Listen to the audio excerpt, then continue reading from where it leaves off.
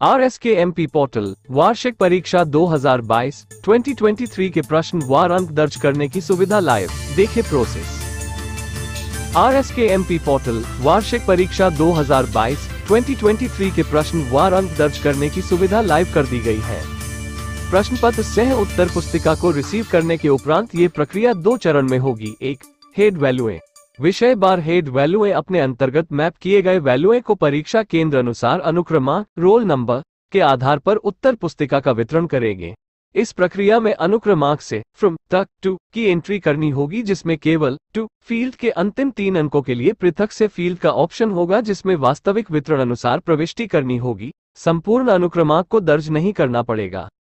दो मूल्यांकन करता पोर्टल में वितरण उपरांत मूल्यांकन करता को दिए गए अनुक्रमांक अनुसार परीक्षार्थियों की सूची दिखाई देगी, जिसमें परीक्षार्थी की मुख्य जानकारी प्रदर्शित होगी और अंत में अंक प्रविष्टि का एक आइकॉन दिखाई देगा, जिस पर क्लिक करने के उपरांत प्रविष्टि फॉर्म ओपन हो जाएगा।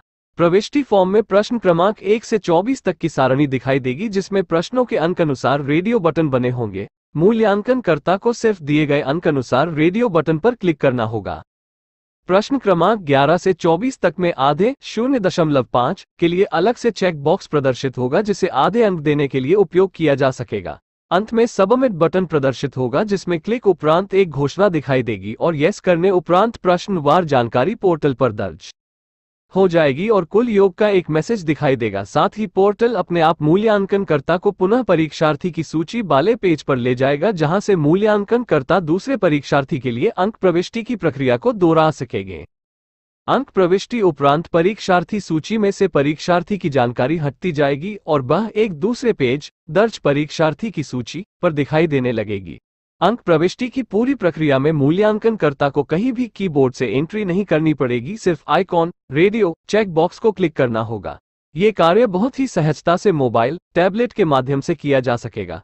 इस पूरे मॉड्यूल को मूल्यांकनकर्ता की सुविधा को ध्यान में रखकर बनाया गया है। आगे की प्रक्रिया दर्ज की गई समस्त परीक्षार्थियों की एक्स ई सूची जिसमें प्रत्येक परीक्षार्थी के विषय वार कुल अंक प्रदर्शित होंगे तथा जिसके माध्यम से हेड वेलवे अंकों को लॉक कर पाएँगे, ये सुविधा एवं विस्तृत निर्देश कल शाम तक लाइव कर दिए जाएँगे। धन्यवाद।